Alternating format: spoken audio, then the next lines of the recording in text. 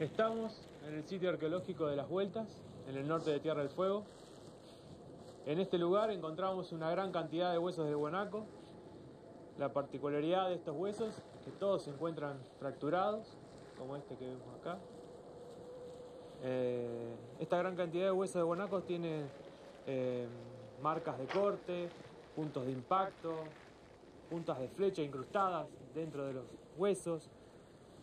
Todo esto nos está indicando que en este lugar eh, los grupos humanos que habitaban acá estaban cazando guanacos.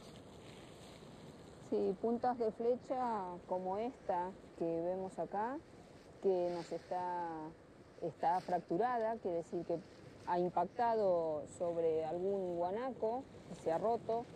Eh, hay otras herramientas que también fabricaban sobre piedra, como algunos cuchillos, como este que veo acá, eh, algún raspador también. Con esto trabajaron, trabajaban el cuero después de, despostar al animal. Eh, con los percutores eh, rompían, fracturaban los huesos para extraer la médula.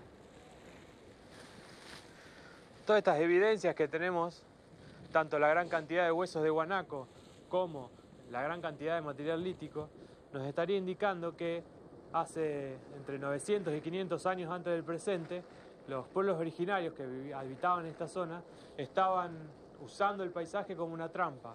Es decir, que ahuyentaban a los guanacos hasta este punto y los cazaban y estaban haciendo cacerías masivas de guanacos. Tendríamos que medir algunas otras cosas. ¿Podemos empezar por este? Dale.